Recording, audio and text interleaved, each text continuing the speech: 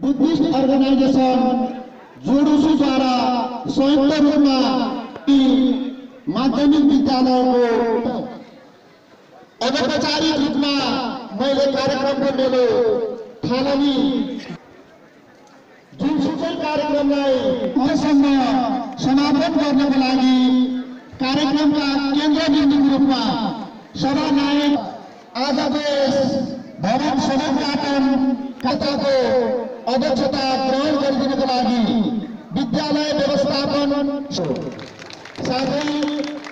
र भीमकुमारी खरेलजीलाई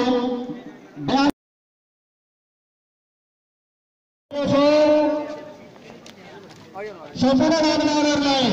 तालिका